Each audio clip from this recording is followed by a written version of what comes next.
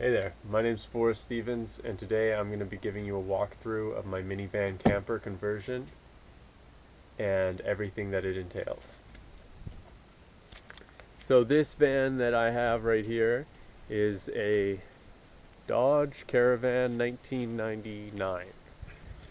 So there it is for all of you to see in all of its glory. It's a big purple, we call it the Grape Van. If anybody watches uh, Workaholics, we call it the, the grape with a G van. All right, yeah, let me show you the inside. So inside we've got a futon mattress that I'm not sure, I think it's a twin or a double or something like that.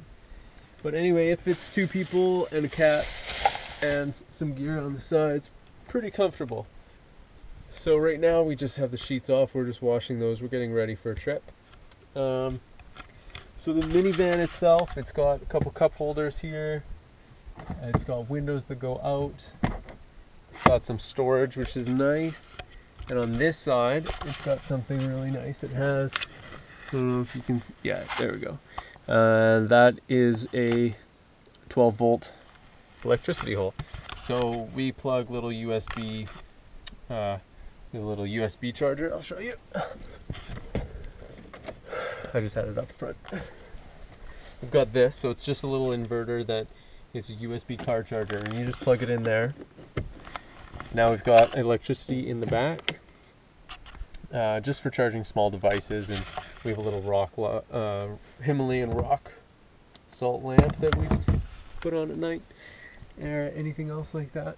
Um, so as you can see behind me, we've got curtains, and on both sides and we also built one that we just hang in the middle to kind of partition everything off. Uh, I'll show you the bed frame. So here's the bed frame. It's got a hole in the side here, uh, just so that this is all our camping stuff that we use, tents and things like that. We just pull that out. This is a bag of shoes, and then this pops right up and that's extra storage that we haven't packed yet. It's a pretty stable frame. Uh, it's all made by half inch plywood and I have a build video as well, so check that out if you need to know how to build a frame for your minivan. So that's underneath. We haven't packed everything in there yet. And we just put this little beam in the middle to support it. But when everything's in there, that's also supporting it a little bit. Uh, we have you know things we need for uh, like different oils and things that go fluents that go in the van in case.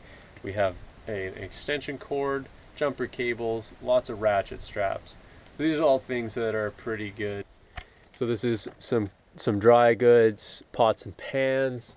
Up top we've got dishes and cutlery and usually we just throw you know cereals and, and granolas and things that we use every day in there as well. So this just is going to be packed away, but essentially we've got a little cooler that we put here and we put, you know, some yogurt and some vegetables and things like that.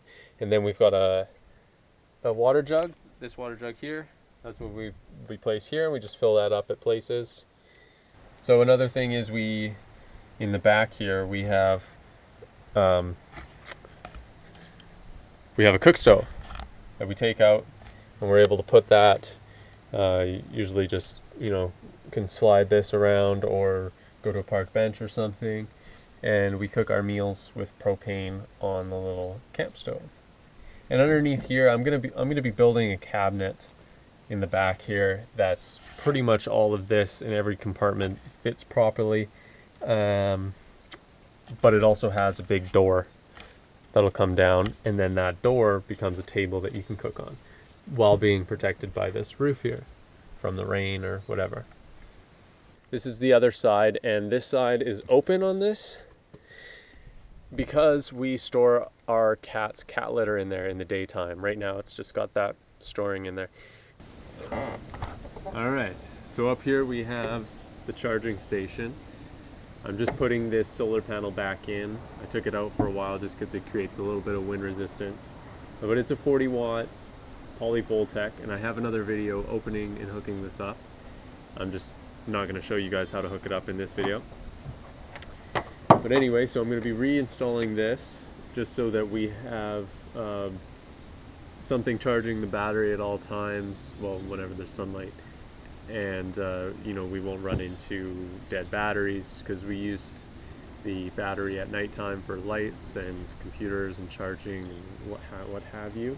That's the one part of the charging station and the other part, so at nighttime, I throw this on the roof and then when I wake up in the morning, there's usually, you know, an hour or two of sunlight charging this. So I like to think that this purple van here absorbs a lot of heat and shoots it back into this as well as this being black heats the water. And it actually works quite effectively.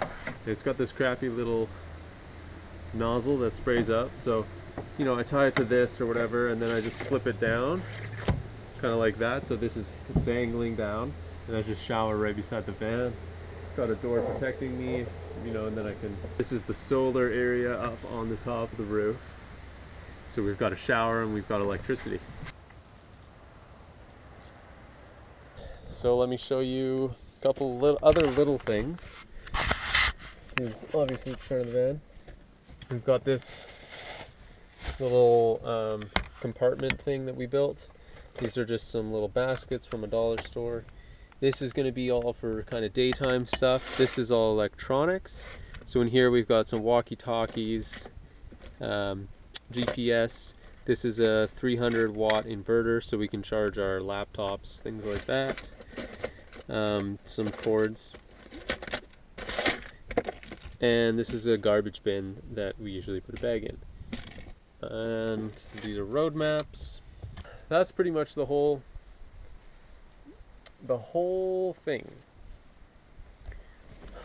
I hope you enjoyed my video of the tour of the camper, the minivan camper. And when I update it, there'll be more videos of it being updated and new construction builds on it and things like that. So stay tuned. Thanks for watching.